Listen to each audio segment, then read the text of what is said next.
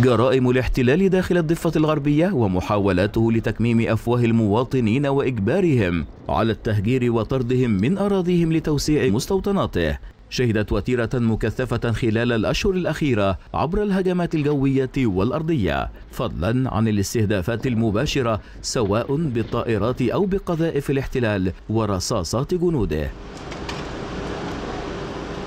مخيم طول كرم كان ضمن أكثر الأماكن استهدافا من قبل قوات الاحتلال الإسرائيلية إذ نفذت اقتحامات وانتهاكات عدة كما شرعت بتجريف البنية التحتية داخله قبل انسحابها وتوجهها إلى مخيم نور شمس شرق طول كرم. اقتحامات وأعمال تخريب فضلا عن مواجهات مباشرة شهدها مخيم نور شمس الواقع بالمنطقة الشرقية في الضفة المحتلة ما أسفر عن استشهاد وإصابة العشرات من المواطنين.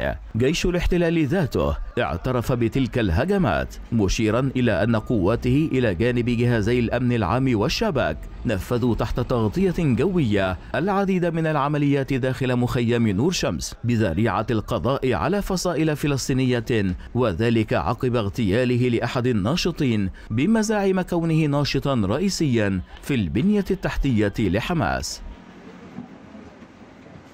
أما في مدينة دورة جنوب الخليل فقد قامت قوات الاحتلال بإطلاق أسلحتها بشكل مباشر وعشوائي على المدنيين كما قامت باعتقال كل من حاول إسعاف المصابين والجرحى وعلى رأسهم فرق القطاع الصحي وفقا لوسائل إعلام فلسطينية.